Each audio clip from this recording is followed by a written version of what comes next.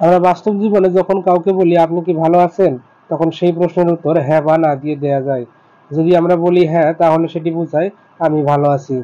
এবং যদি বলি, না তাহলে সেটি বোঝায়, আমি ভালো নেই। এবং এর পাশাপাশি আমরা যদি বলি, আপনি কেমন আছেন? তাহলে সেই প্রশ্নটির উত্তর আমাদের ব্যাখ্যা করে দিতে হয়। তখন আমাদেরকে উত্তর দিতে হয়, আমি ভালো আছি অথবা আমি ভালো নেই। মূলত এই বিষয়টিকে সাক্ষ্য আইনের ভাষায় ইঙ্গিতবাহী প্রশ্ন বলা হয়। যে প্রশ্নের উত্তর হ্যাঁ বা না দিয়ে দেয়া যায় সেটিকে আইনের ভাষায় বলা হয়। যে প্রশ্নের মধ্যেই উত্তর নিহিত থাকে সেটি হচ্ছে ইঙ্গিতবাহী প্রশ্ন। এবং সাক্ষ্য আইনের একশো তেতাল্লিশ ধারা অনুযায়ী শুধুমাত্র জেরার ক্ষেত্রেই ইঙ্গিতবাহী প্রশ্ন করা যায়। অর্থাৎ যখন কোনো সাক্ষীকে শুধুমাত্র জেরা করা হয়, শুধুমাত্র তখনই ইঙ্গিতবাহী প্রশ্ন করা যায়। অর্থাৎ এমন প্রশ্ন করা যাবে যেই প্রশ্নের উত্তরে হ্যাঁ বা না দিয়ে দেয়া যাবে।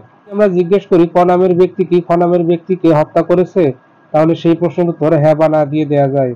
ইঙ্গিতবাহী প্রশ্ন, আদালতে কিংবা সাক্ষ্য আইনে একটি গুরুত্বপূর্ণ বিষয়। কোনো অপরাধ প্রমাণের ক্ষেত্রে কিংবা কোনো অপরাধীকে শনাক্ত করার ক্ষেত্রেও এটি গুরুত্বপূর্ণ ভূমিকা পালন করে।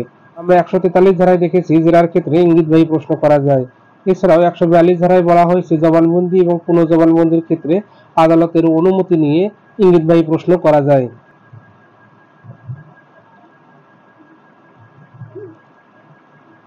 এছাড়াও ভূমিকামূলক বিষয় এবং স্বীকৃত বিষয়েও ইঙ্গিতবাহী প্রশ্ন করা যেতে পারে। আশা করি বিষয়টি আপনারা বুঝতে পেরেছেন। ধন্যবাদ। ভালো থাকবেন।